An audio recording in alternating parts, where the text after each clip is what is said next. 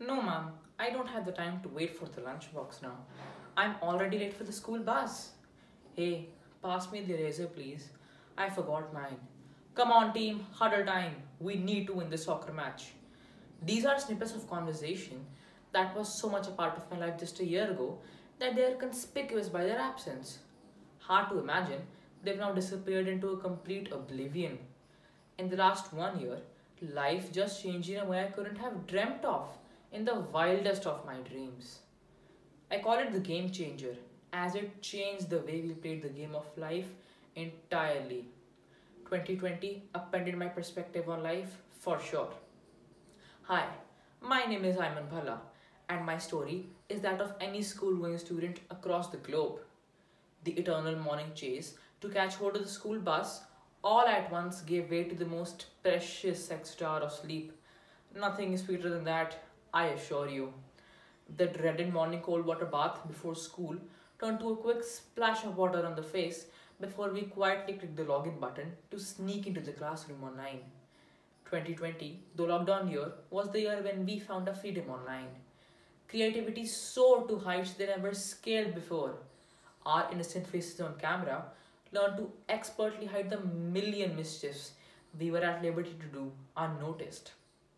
Not to forget, overnight we became the country's next Sundar Pichai, where we learned the nuances of the digital world like we were born with the talent. When the teacher called out your name suddenly, it left us in a fret. But we could dodge our questions simply by leaving the class, and it was the poor internet connection which got all the blame. Nana, don't smirk off that grin from your face. We are all guilty as charged. But I'm sure you will admit it wasn't all that glorious, as there was a flip side to it too. Parents scrutinizing your every move, and no matter how much you devoted your time to studies, it was never sufficient for the records. However, we found a solution to that too by expertizing at toggling the screen like a pro every time they entered our room unannounced and managed to keep our chat engines, Among Us, and YouTube out of their sight. Now that calls for an award in itself, don't you agree? And amidst all this mischief, we hardly realized how the tiny fat layers creeped one on top of the other while we stayed miles away from any hint of physical activity. And to add to it, Mum's love and affection traveled a different terrain where she made us the guinea pig for every new dish she tried cooking. Thanks to the lockdown cooking rage that went viral, and every parent across the globe mistook themselves to be the next master chef. But like they say, every great achievement calls for some sacrifices, and this time it was our poor stomachs that had to bear the brunt. All in all, stepping into teens couldn't have been any less dramatic. While the world came to a standstill, we grew up.